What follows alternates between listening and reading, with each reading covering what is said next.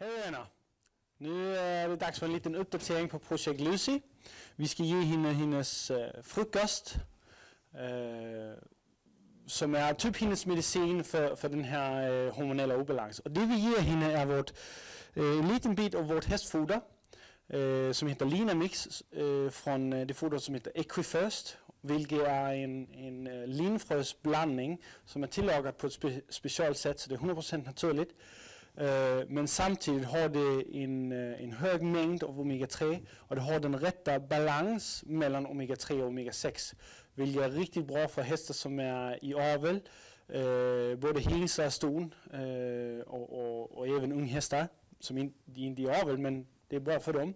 För det hjälper till på hormonbalansen eh, nämligen. Samtidigt ger vi, dem, eh, ger vi henne eh, ren aloe vera som hjälper till att eh, få, få magen i balans och, och hela immunförsvaret som sitter där och, och allt sånt. Att det bara spelar rent och är bra. Eh, och då får hon ett homeopatmedel som också är med till att hjälpa henne med hennes eh, hormonella obalans. Så eh, jag vill visa lite hur vi eh, gör det ifall med en häst som är bevisat är aggressiv. Eh, det är inte säkert att hon är det nu idag, för vi har gjort det här några dagar. Men i så fall vill jag visa vad som kommer hända. Men som ni ser så är hon väldigt uppmärksam på att vi ska ha mat. Så jag vill gå in till henne och säga, kan du vara snäll och flytta dig? Så där kom lite ändå. Så det jag gör det är att jag går in, säger till henne, hon ska inte bara ta maten, även om hon gärna vill. Och så går jag in och leker lite med henne och säger,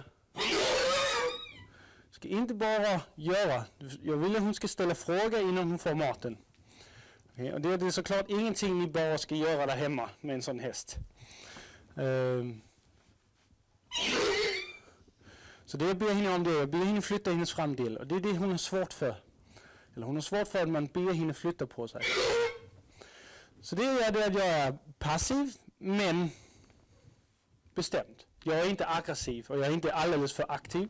För då blir hon bara sämre. Så jag bara mjukt, väldigt, väldigt lätt tryck ber henne flytta sig.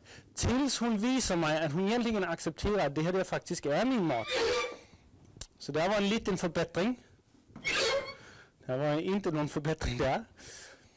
Och det är bara tålamod och, och riktigt, mycket käns riktigt mycket känsla i handen. Så man inte bara äh, är aggressiv och pressar på, men man är mjuk och snäll. Så där var en liten förbättring. Så lite till där.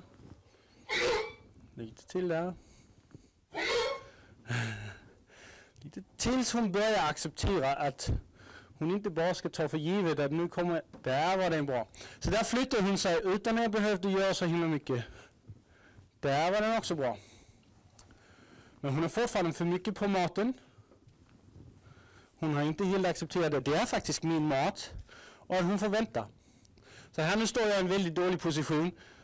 Så jag, så jag klappar bara och säger flytta på dig. Istället för att gå på henne så kan jag, så, då kan jag hamna i en väldigt farlig situation. Ja, lite bättre.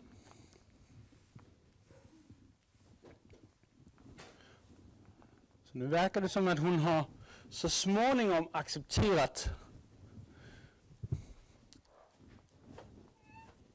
Där var det bra, riktigt bra. Det var även hennes dåliga sida, där hon inte kan se någonting.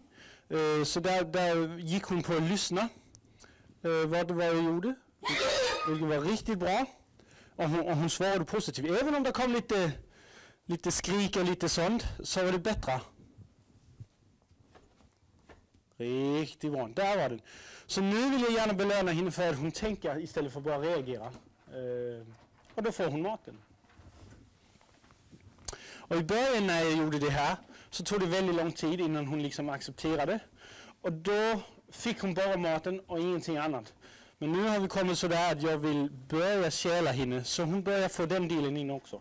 Det som oftast kan hända när det är en typ av respektproblem eh, med maten här, även om det inte är en häst som har hormonella problem, men som bara är aggressiv med mat. Om man då belönar genom att ge maten eller man ger maten eh, när de väl accept har accepterat det och man då också kälar då kan man väldigt lätt på något sätt radera det man just har gjort och visa att man egentligen inte menar det i hästens ögon. Så det är bättre att bara ge maten och låta bli och inte göra någonting. Och efter ett tag kan man börja käla och lägga den delen på eh, med hästen. Men jag ska fortfarande vara uppmärksam på um, uh, att jag inte placerar mig i en så farlig situation, uh, även om hon äter. Men som ni kan se från de första filmerna är det redan en, en ganska stor skillnad.